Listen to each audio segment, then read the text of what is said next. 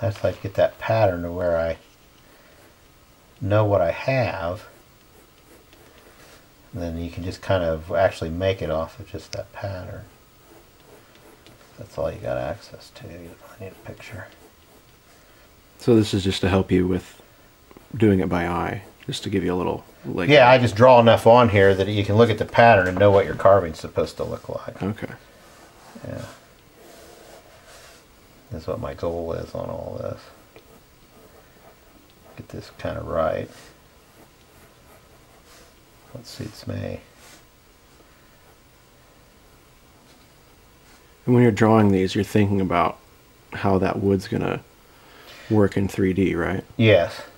And the grain of the wood. Obviously, these taller, narrower Santas and things, I mean, I'm running right up through my grain. But they're looking at a pattern I can get out of eight quarter material, which is two inch material.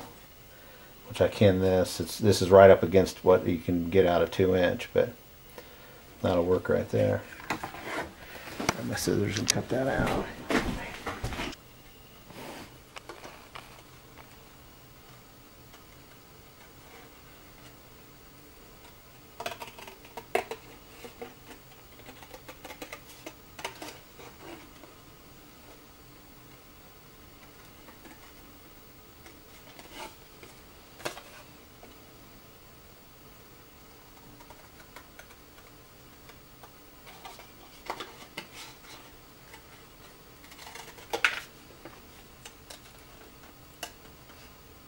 I don't worry about being perfect, but send that up there a little bit.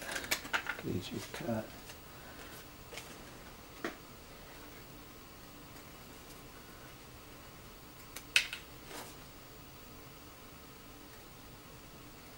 I'll show you the new snowman I did with the Santa hat. Oh yeah, I want to see I that. made a new pattern up. I cut some out. You don't want to just make the same thing all the time. It gets a little boring.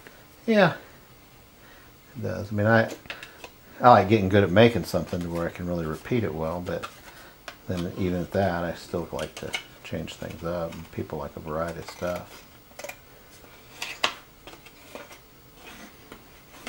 I think that's the nice thing about making things is they're all a little different. Right, and even I mean, you cut ten of these out. You know, like his arms are a little off there, or whatever. But you cut ten of those out and carve them; they aren't all going to be the same. I mean, it's just not how this works. You end up with different ones every time. Faces are always a little different, or you know how you do it. But um, oh, I never got any cut out because I blew my bag. But there's the pattern of it. Oh, okay. And that gives me enough there to leave a nice little ball on the top of his Yeah. hat. So it'll work out. Yeah, that'll be great.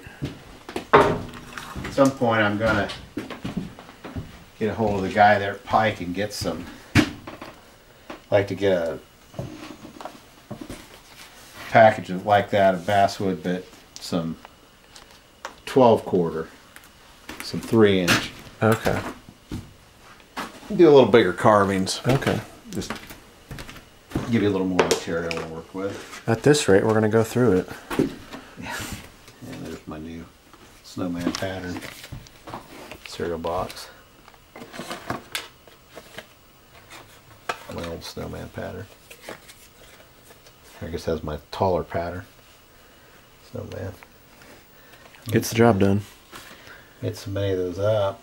Yeah, you got a big stack of ones carved out here. Jeez. Yeah, I got a bunch cut out. I guess I got two of them cut out before it blew up. I got eight more laid out here, that tall Santa. It'd be a mess cleaning up the back of the shop down here. Everything away, but it is what it is.